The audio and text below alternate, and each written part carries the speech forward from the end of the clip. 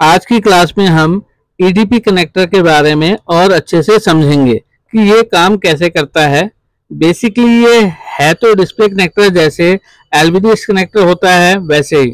SOC architecture से EDP connector start हो गया। तो आज का जो स्मैटिक लिया है, वो है एच पी फिफ्टीन आर का।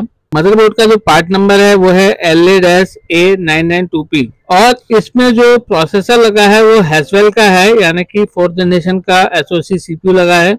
अगर हम यहाँ पर ध्यान दें तो एसओसी से ईडीपी सिग्नल आउट हो रहा है।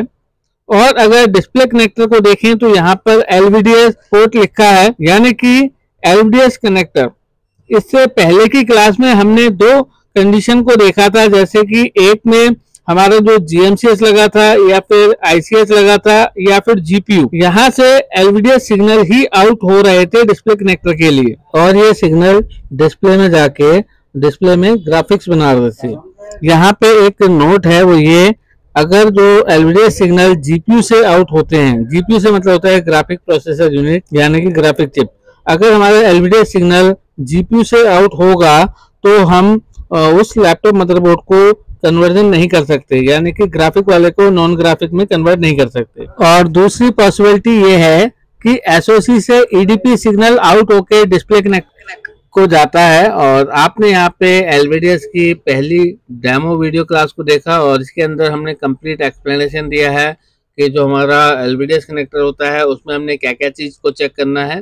और ईडीपी कनेक्टर में हमने क्या क्या चेक करना है और जो ईडीपी टू एलवीडीएस कनेक्टर होता है, उसमें हमने क्या क्या चीज़ को चेक करना होता है।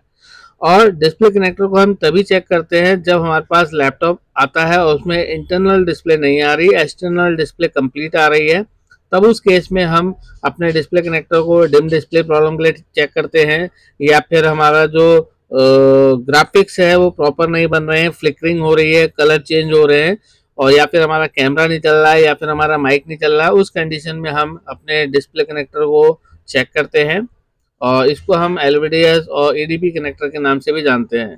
तो यहाँ पे हम कंप्लीट इन्फॉर्मेशन दे रहे हैं कि इसको हमने कैसे ट्रेस करना है और जो हमारे डेटा पाथ होता है, उस पाथ में कंपोनेंट अगर लगा है अगर ज़ीरो ओम की रजिस्टर लगी है, जिसको हम फ्यूजेबल रजिस्टेंस कहते हैं, अगर वो ओपन हो गई है तो हमें उसको कैसे रिपेयर करना है, या फिर कोई कैपेसिटर ग्राउंड के साथ लगा है, वो शॉर्ट हो गया है तो उसको हमने कैसे चेक करना है? तो ये सारा एक्सप्लेनेशन आपको इन वीडियो के अंदर मिलने वाला है। तो आप अगर बिगनर स्टूडेंट हैं तो प्लीज़ मेरे चैनल से आप जुड़िए।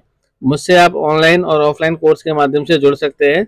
जिसके अंदर हम आपको लैपटॉप रिपेयरिंग के चिप लेवल इन्फॉर्मेशन देंगे और ये बेसिक टू एडवांस होगा थ्योरी प्लस प्रैक्टिकल होगा। और जितनी भी जनरेशन लेटेस्ट आती रहेंगी, वो सब आपको इन्फॉर्मेशन मिलता रहेगा वीडियो के माध्यम से।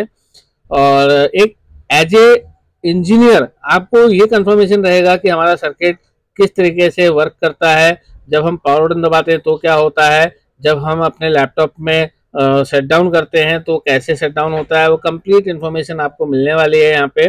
क्योंकि आप or gate nor gate and gate और जितनी भी आईसी हैं कंपरेटर हो गया ओपैम्प हो गया, इनके बारे में कंप्लीट जानकारी रखेंगे, उनके पावर रूट को जानेंगे फीडबैक को जानेंगे इनेबलिंग पिन को जानेंगे एंट्रिप पिन को जानोगे तो ये सारा चीज़ आपको वन बाय वन आपको डे रूटीन में मिलता रहेगा। इससे आप लैपटॉप को बहुत अच्छी तरीके से रिपेयर कर पाएँगे, क्योंकि आपको हर सर्किट के बारे में पता होगा कि वो किस तरीके से काम करता है। यहाँ पे आपको नेटवर्क रजिस्टर जैसे कि आप देख रहे हैं उनके ख़राब होने से क्या होता है? वाटर डैमेज होने पर उसमें फंगस आ जाती है तो वो कैसे मिसबिहेव करते हैं? तो उनको हमने कैसे चेक करना है? चाहे वो हम मल्टीमीटर से चेक करें, चाहे डीएसओ से चेक करें, या फिर बेसिक ट्रबल शूटिंग से उनको रिपेयर करें कंप्लीट एक्सप्लेनेशन आपको मिलने वाली है। तो ज़्यादा से ज़्यादा चैनल पे जुड़िए।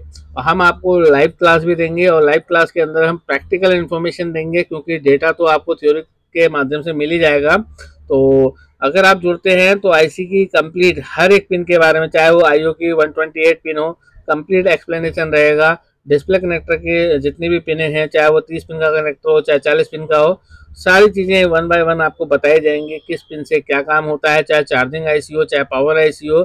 जितनी भी उनकी मेन सप्लाई है, वो कैसे बनती है इनेबलिंग कैसे बनती है, उनका जो बूट पिन है, वो कैसे काम करता है, वो सारा रहेगा।